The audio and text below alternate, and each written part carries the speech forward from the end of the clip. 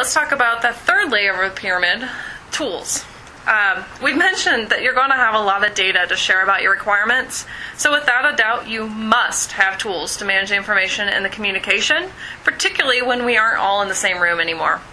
You know, users are busy, developers often don't have or even want direct contact with users, and everyone has conflicting priorities that need to be resolved. So, with a variety of tools, we can create this virtual community that enhances project communication. You know, there's five types of tools that we use. They are team collaboration, issue tracking, requirements management, requirements collection, and document management. And integrating these tools completely into a team, it's going to help you get this communication improvement in your team. So you might use issue tracking tools to log issues um, that need to be resolved. Uh, hopefully, this is going to help you keep from missing requirements. But what I want to say about this, a lot of projects do this once they get into development. It's sort of that defect tracking. What we're saying here is start that process earlier in your project. When you start doing requirements, you're going to come up with things that you don't have the answer to that you need to follow up on. Those are the kinds of things that should go in your issue tracking tool to make sure that you get resolution on them. Use a requirements management tool so that users can monitor the project progress and give their feedback that can help clarify requirements. You can even have discussions in there about the requirements. Requirements collection tools, they're going to allow your requirements team to put captured requirements down on paper immediately. And then ideally, it's going to help them elicit better requirements from users right in the moment. A common document management tool is important. So the documents are available in a single location. Everybody knows where to get them. They can get that relevant information no matter where they are in the world. And then a team collaboration tool is going to help enable something as simple as project team members having each other's contact info, but they also can really help if they have things like chat rooms in them. It provides the capability so the distributed team members can really quickly ask and get uh, quick answers to their questions about the requirements.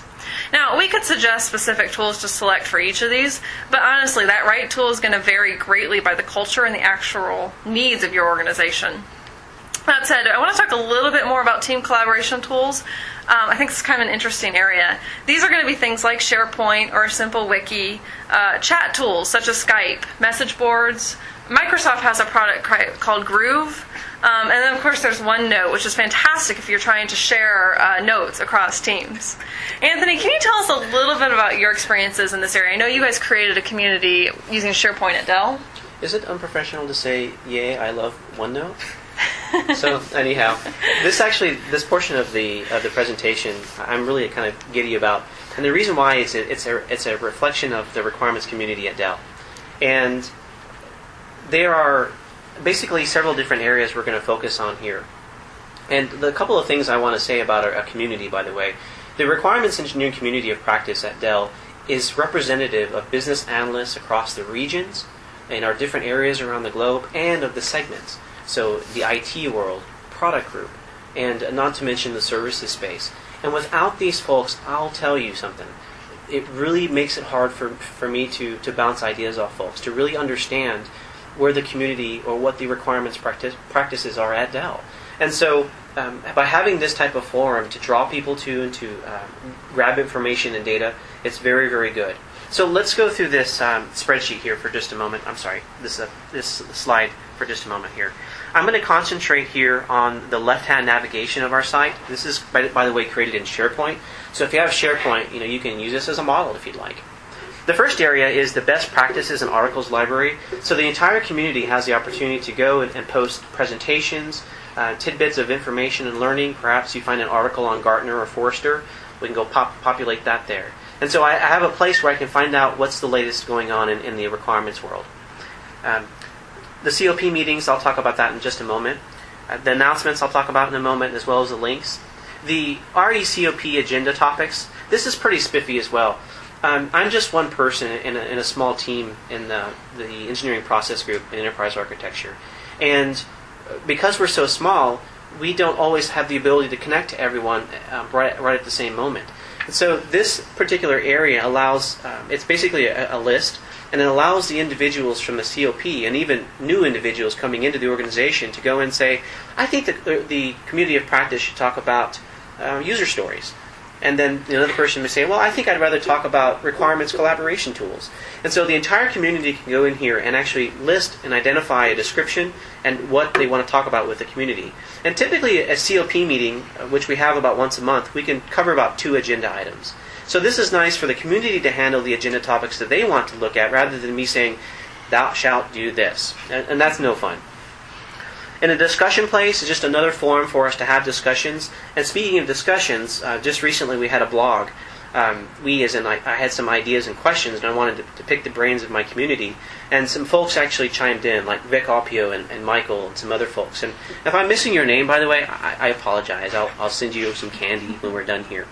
In any event, the, the blog is a great place to, to, to be interactive with the environment. But I will say this if you don't have a culture that's used to using blogs or communication techniques like a SharePoint site or collaborative tools, don't worry. Just send out emails every couple of weeks and, and, and remind folks that, that that area is there for them. Uh, further on this side are the announcements. So, any announcements that are for free training in any of the regions, segments, or areas, or even in Austin, we try to keep that information here. And when I have uh, updates to let folks know what's going on in requirements engineering, basically well, I'll put it in the announcements section. Finally, um, as I mentioned earlier, in the discussion place, it's another idea for me to, or, or for the whole community to, uh, to gather information and data. So the, the COP top meeting topics, um, I was trying to, this is my initial release to try to find if you have a topic you want to talk about, you know, list it there. We have some links out to external sites and internal sites. Our friends and, and colleagues over at Seilevel, uh, there actually have been some instances where I've needed some help on a project um, when I help project teams within the, the, organization, sometimes I don't know the answer. So I can go to a blog here at Seilevel and just pester a few folks and get some feedback.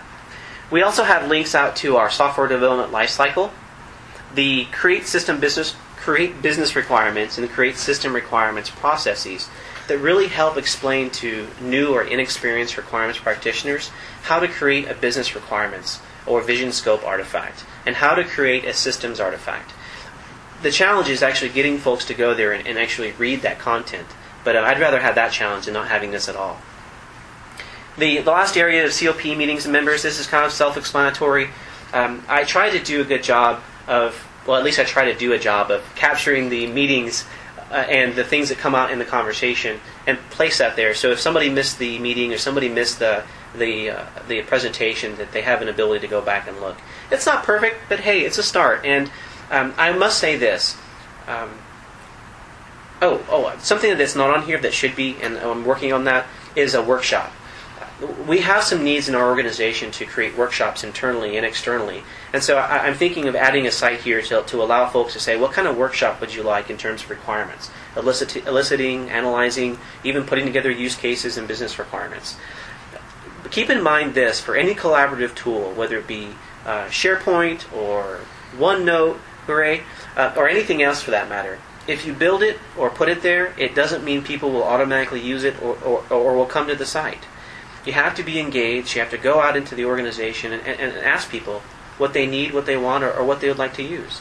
So, if it weren't for the, I'll say this again, and I can't belabor it, your communities, the folks that are in your organization, or your mentors, or those folks externally that you can talk to, like uh, IIBA members, Joy, uh, Tal, uh, Rob, or even folks internally, without those folks, it really is imp- it's hard to do our work. And so utilize those folks. The community is important, and it, the COP I cannot uh, uh, uh, thank them enough actually for the work that they do with me.